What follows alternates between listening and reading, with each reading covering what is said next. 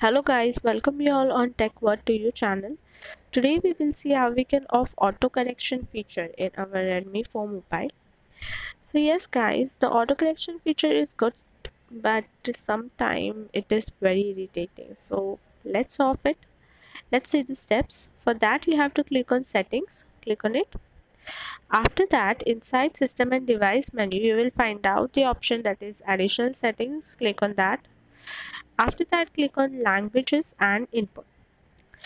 Now here there are different types of keyboard present. So if you want to find out which keyboard you are using that click on current keyboard option. So here i'm using the SwiftKey keyboard. You might be using gboard or google keyboard.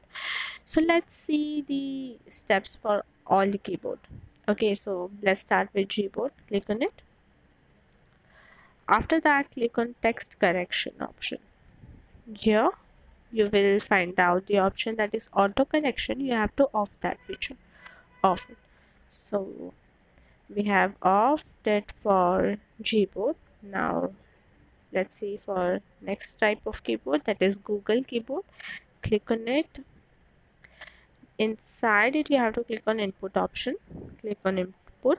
Now you have to off the auto spell correction option. Here I have already offed it or uh, uh, there are two uh, option that is inside the English keyboard auto spell correction offed it and inside Indic languages if you're using it then offed it.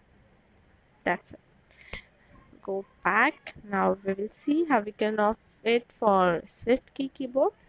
Click on it. Inside it click on typing option.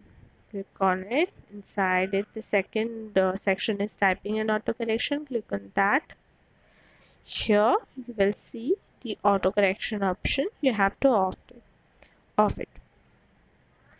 That's it inside all the keyboard we have of the auto correction feature. And uh, these are the easy steps guys. If you find out this uh, video interesting then please click on like and subscribe my channel. Thank you so much for watching